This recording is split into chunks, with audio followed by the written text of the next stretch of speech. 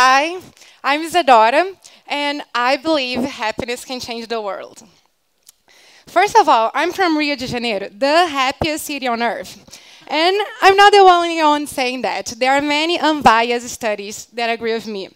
In Rio, we are always celebrating. And it's very hard for you to feel sad when you're surrounded by so much natural beauty. And the beach is always warm. But in 2009, I moved to New York City to pursue my master's in design and technology. I think it's safe to say that those cities are a little bit different. What I didn't notice back then was how much those differences were going to affect me. First of all, I'm one of those people that like to greet others on the elevator. I like small talks. So every time I gave a good morning, though, I was likely left with a blank face. So I stopped doing that. And on the subways, every time I tried to make eye contact, just made me feel really creepy. So I stopped that too. And when I tried to hug my friend and she told me, please don't hug me, I'm not a very touchy person, I just took it personal and I stopped hugging everyone else. One day, I was such in need of a hug that I thought the best thing to do was just to go to the closest wax museum so I could hug some celebrities. This is me of Albert Einstein. But I also had an idea. What if I'm not the only one? What if maybe New York is full of these happy people that once came to the city, got a little bit burned, and started creating their own shells? So I decided that for my master's thesis, I wanted to research kindness. Because the truth is that I wanted people to be nicer to me. So one thing that I learned is that there is a very high correlation between how happy you feel and how kind you are to others. The difference, though, is that me as a person, I can't really make you kinder, but I can make you feel happier. A simple way of doing that is just by breaking someone's routine with a positive interaction almost like when you get a free sample on the supermarket.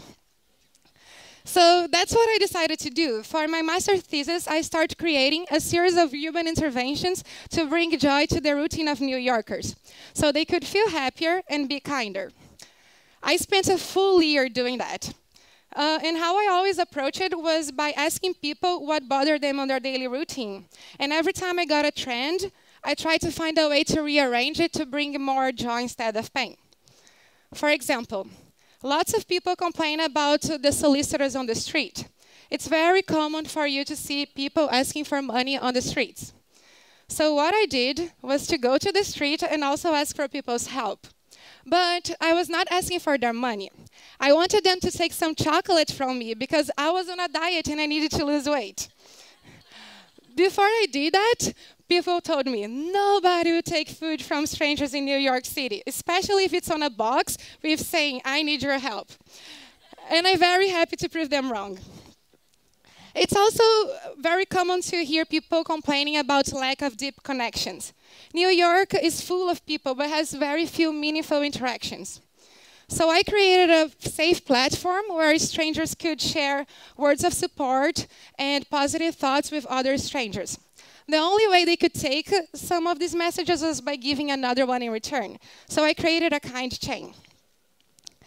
Also, it's very common to hear people complaining about lack of time, especially to do exercise. So I decided to make it easy for them. I talked to the guys in the electronics store, I set up my Wii, and I started inviting people to dance with me without getting them out of their way. Only one song, three minutes, but it really affects their mood. But maybe my favorite one of all times was during Valentine's Day, and people start complaining, I'm single, I don't have a date, the whole city is decorated for Valentine, and I have low self esteem. Well, I didn't go on a date with everyone, if that's what you're thinking, but I can try to make them feel better. I created a free compliments booth, and I would invite all these strangers to come to me so I could try to make something good for them, try to say something nice, and make them feel better about themselves. One very interesting thing happened that day, though. I noticed that I was the one getting the most compliments of all. So that made me realize another important thing. It's not that people are desensitized to kindness. You just have to build the right environment for them to be able to trust in you. And once they do, they usually reply with more kindness. And happier people are not only nicer to others. There are, other, there are other studies that, that shows that When you're happier, you also are more creative. Probably because you feel less stressed, you can think more outside, more outside of the box and also be more resilient. And as a result, you're more productive. So if I were a recruiter, I would hire on happiness level.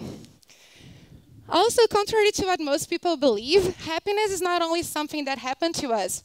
Everybody can exercise happiness. It's more about what you think when you go to bed, when you wake up, or even your daily actions than your current circumstances. Best of all, happiness is contagious. In fact, it only takes you two minutes to affect someone's mood, for better or for worse. So hopefully you're all feeling a little bit better by now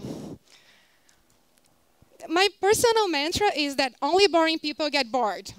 Just because you're doing boring stuff doesn't mean you need to be boring about it.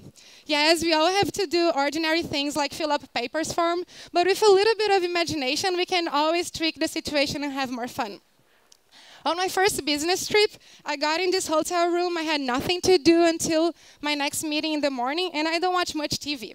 But there was a bed, so I thought, why not? I'll just jump in this bed until I can take a good picture out of it. And I had so much fun doing it that I've been doing it since then.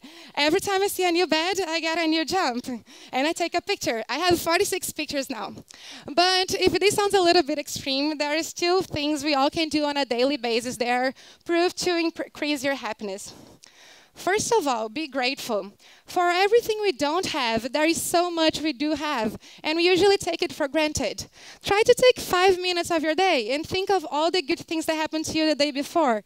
They don't need to be big, like a text message, or you spoke to a friend, or you ate something really delicious.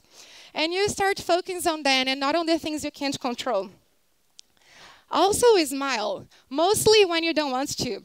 It turns out our brain's not very smart. It doesn't know the difference between faking or feeling it. So, as long as you force yourself to smile, you start feeling better. Trust me, I've tried.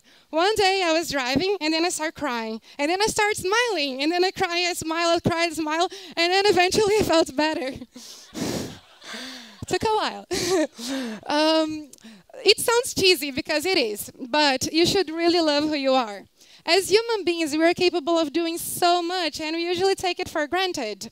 I believe everybody should have a top 10 list of what they love about themselves. And then every time you're feeling a little bit down, you can take a look at it and think, I'm pretty awesome.